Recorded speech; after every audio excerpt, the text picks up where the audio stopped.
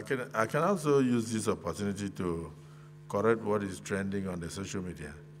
We, we agreed here that uh, we should await the outcome of the investigation by the joint uh, uh, uh teams of the military, particularly the defense headquarters, on the killing of the soldiers in Okuama.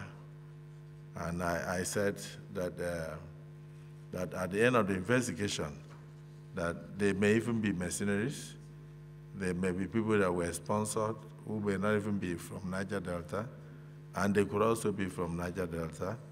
But whoever they are, the act is not only barbaric, it is horrific and a crime against humanity, and all those involved must be brought to book. And, uh, and uh, but somebody went to tweet, I don't know from where, that Senate President says that the killers of the of the of the soldiers are not from Nigeria. Uh, yeah, I, I, just want you to see. After they will say we should not regulate uh, social media. Am I right? They say we should not regulate social media. So when you bring that kind of falsehood and throw out, and that's the one that will trend. Akpabio says, Akpabio reviews killers of uh, of uh, 16 soldiers, says they are not from Nigeria. So anybody who sees it would say that this is what was discussed. We are calling for investigation to unravel the culprits so that they will be brought to book. And I said that it is not in the character of our people to go killing and cutting off the heads of men and women in uniform. I'm a Niger Deltan. I know this is totally uncommon. This is not something anybody would think of. This is barbaric, this is brutal.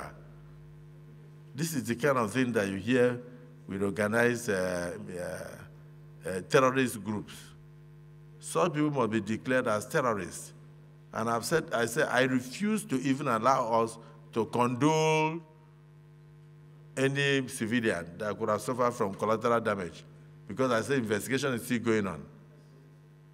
So we condole only with the members of the family, we condole the chief of army staff, the chief of defense staff, and the personnel of the armed forces over this tragedy. And we say we will not condole any person involved in collateral damage or the community yet until the investigation is completed. And, but they didn't write that one. Instead, what they went to write is that Akpabio says killers of Nigeria, uh, 16 soldiers are not Nigerians. So, you know, sometimes uh, people love breaking news, but breaking news should not break the society. I'm not angry. Oh. I'm, every time I hear Akpabio, Akpabio, Akpabio, Akpabio, Akpabio. So I'm not angry. You can sell your medium if that pleases you, but stop sending fake news around. Stop sending fake news around. I'm, stop, I'm stop trying to tarnish anybody's image. This is a very serious issue, and this Senate takes it seriously. That's, that was why we refused to mention anything about condolence to the, to the communities yet. And we said the one we know are these 16 uh, armed personnel who have been killed in a very brutal and horrific manner. And so we, we even recommended that we should find a way to compensate the families. We condole with Mr. President, the Commander in Chief, over this tragedy and all that. But somebody went to tweet immediately that the Senate President, Senate President says that killers are not Nigerians when investigation is ongoing. So if that goes out and they sell that to Australia, United Kingdom, everything, is that what was that what was discussed in the Senate?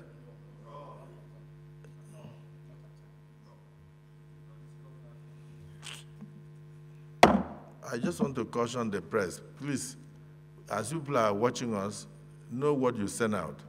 Because if it were your father or your brother that was killed, you will not, be, you will not send out mischief. You will be shedding tears. I had bleeds over what has happened. I don't like, I don't like what I just saw. I have stepped out here now and I saw it there. The killers of 16 soldiers are not Nigerians. Senate President reviews. That means Senate President knows the killers, even when the investigation is not completed. No, don't laugh. It's what you people are doing. One of you there must have done it. May God forgive you in Jesus' name.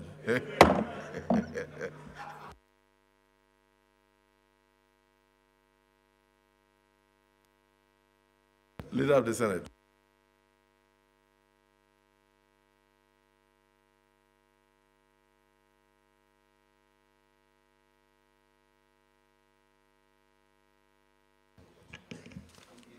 Mr. President, distinguished colleagues,